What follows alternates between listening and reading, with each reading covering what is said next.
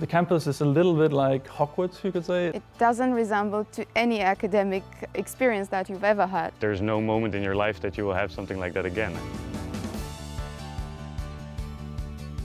Europe 360 degrees. Now, this really does sum up something of our mission here. It is to encourage that wider and longer view of Europe. From very different disciplinary angles or subdisciplinary angles as we unite economics, European law, political science with IR, with comparative politics, with area studies, with history and the study of European civilization. Le corps professoral Anatoline euh, est très divers. Il s'agit surtout, bien sûr, des académiques réputés, mondialement connus. Well, students at Natolin benefit from a very rich program of extracurricular activities, and they even enjoy things like visits from heads of state or prime ministers. Ambassadors often frequent them here. One of the great joys of teaching here is precisely that diversity among the students. It's very, very diverse um, in, in terms of cultures and nationalities and, and languages. I'd say every person here has a story to tell. Open-minded young leaders from many European and non-European countries. This broadens as well the knowledge, the perceptions, and the understanding how different it can be and how interestingly different it can be.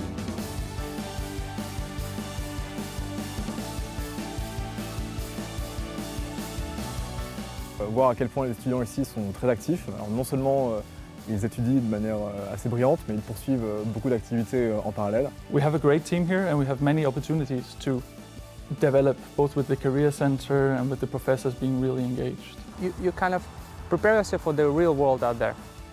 Each year the students organize national days, regional days, where they present the specificities of their culture, history, that they are proud of.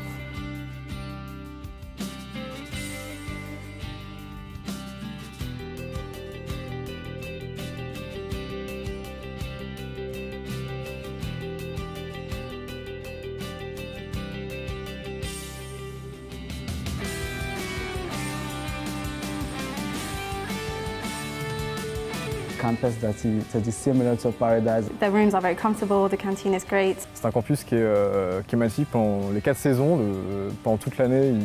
C'est juste une, une, chance de pouvoir évoluer dans, dans ce campus. It really is something unique and this is not what you're going to find anywhere else in the world. J'ai tout de suite été séduite et je me suis dit c'est là où je voudrais étudier. Nowadays, lots of people ask the question how Europe and European Union will look like in 10 years.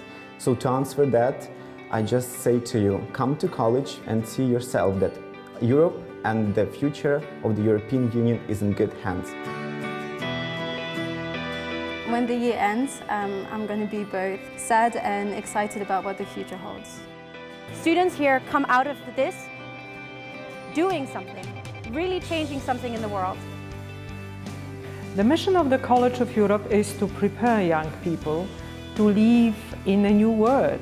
Always we have a new world, new challenges, uh, new uh, tasks to be done.